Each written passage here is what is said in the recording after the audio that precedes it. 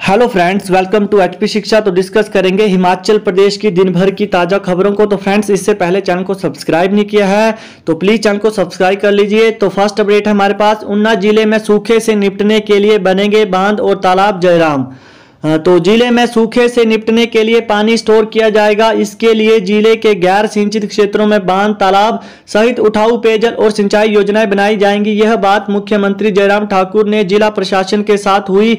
Online बैठक में कही, मुख्यमंत्री ने ऊना ज़िले में सूखे से निपटने के लिए उपायुक्त को बारिश के पानी को स्टोर करने के निर्देश दिए। उन्होंने कहा कि इससे भविष्य में सूखे की परिस्थितियों से आसानी से निपटा जा सकेगा।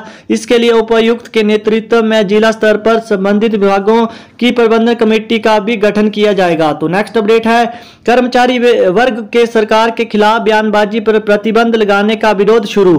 तो केंद्र व राज्य सरकार की नीतियों की आलोचना करने और मीडिया में बयानबाजी देने को लेकर लगाई गई रोक का विरोध शुरू हो गया है। सीटू की राज्य कमेटी ने सरकार के इस फैसले की कड़े शब्दों में निंदा की है।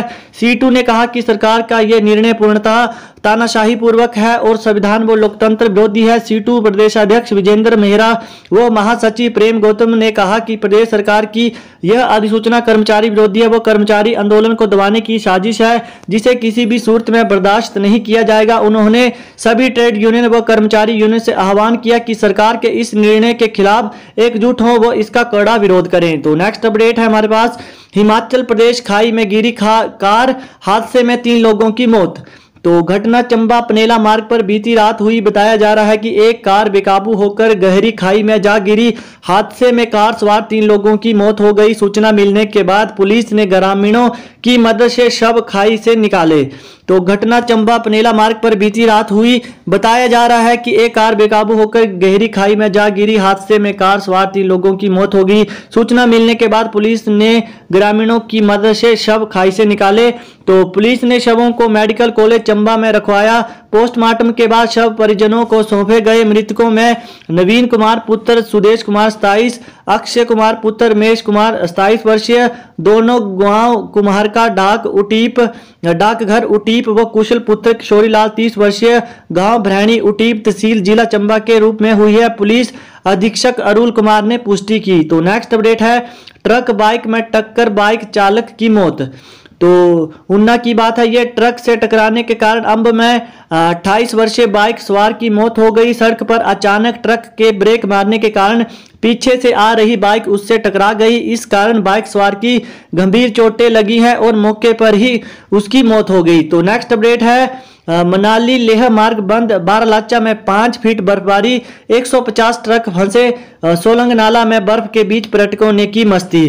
तो मनाली लेह मार्ग पर 24 घंटे के भीतर वाहनों की आवाजाही फिर बंद रहेगी। शनिवार रात को बारलाचा में पाँच फीट ताज़ा बर्फबारी रिकॉर्ड की गई, जिसके चलते दारचा और बारलाचा में फंसे 150 ट्रक चालकों की मुश्किलें बढ़ गई हैं। तो नेक्स्ट अपडेट है हमारे पास, खैर के एक मोछों से भरी पिकअप पकड़ी। तो पुलिस ने क्लोह में नाकाबंदी कर पिकअप ट्राला को तलाशी के लिए रोका। ट्राला तिरपाल से ढका था। पुलिस ने जब तिरपाल हटाकर देखा तो उसमें खैर की लकड़ी के मोछे मिले। तो नेक्स्ट अपडेट है विश्व धरोहर दिवस, पाँच पाँच सौ जाजुराना का संरक्षक है विश्व धरोहर ग्रेट हिमालयन नेशनल पार्क। तो जून 2014 में विश्व धरोहर का दर्जा प्राप्त कर ग्रेट हिमालयन नेशनल पार्क सूबे का पहला पार्क है।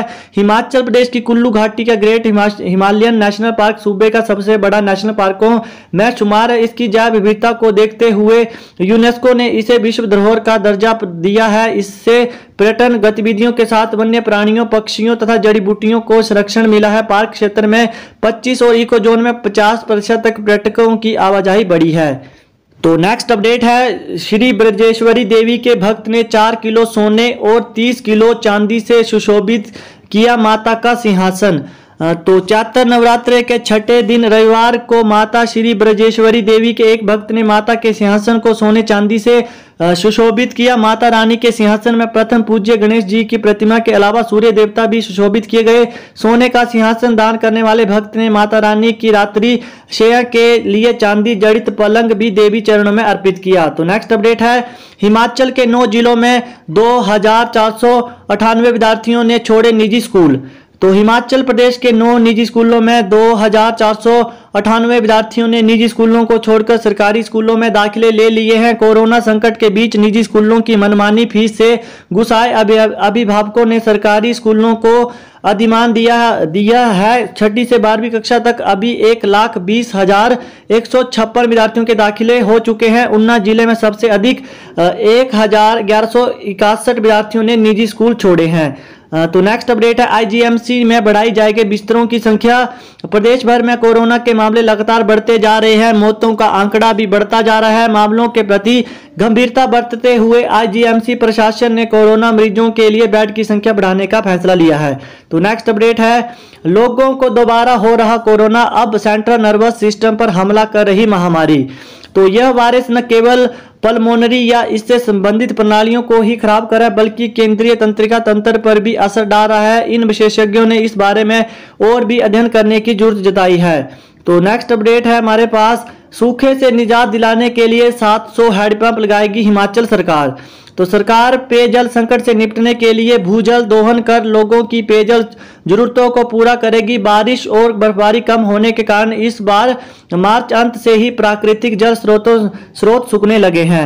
तो हिमाचल प्रदेश में सूखे की समस्या से निपटने के लिए सरकार करीब 700 हेडपंप लगाएगी। इसके लिए जल शक्ति विभाग ने प्रक्रिया शुरू कर दी है। नए हेडपंप लगाने के लिए शीघ्र निविदताएँ आमंत्रित की जानी है जिसे जल्द से जल्द हेडपंप लगाने का काम शुरू किया जा सके। तो नेक्स्ट अपडेट है, बिजली बोर्ड के अधिकारियों पर हो रही कार्रवाई हो कार्रवाई यूनियन। तो राज्य बिजली बोर्ड कर्मचारी यूनियन ने कुल्लू में एक निजी कंपनी को अनाधिकृत तौर पर मदद पहुँचाने वाले अधिकारियों के खिलाफ कार्रवाई की मांग की है। राज्य बिजली बोर्ड कर्मचारी यूनियन के प्रदेश अध्यक्ष कुलदीप सिंह खरवाड़ा ने कहा कि उक्त कंपनियों को नियमों को ताक पर रखकर अधिकारियों की मिली भक्त से 8 नवंबर 2014 को एचटी लाइन से कनेक्शन जारी कर दिया। तो नेक्स्ट अपडेट है, हज़ारों ने दी जूनियर इंजीनियर लेजर कीपर की परीक्षा।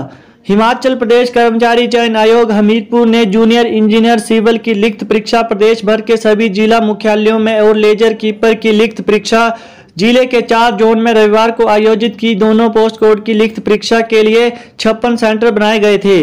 तो परीक्षा शांतिपूर्ण ढंग से हुई। जूनियर इंजीनियर पोस्ट कोड आठ में 24 पदों को भरने के लिए प्रदेश भर के पाँच अभ्यर्थियों को कॉल लेटर जारी किए गए थे।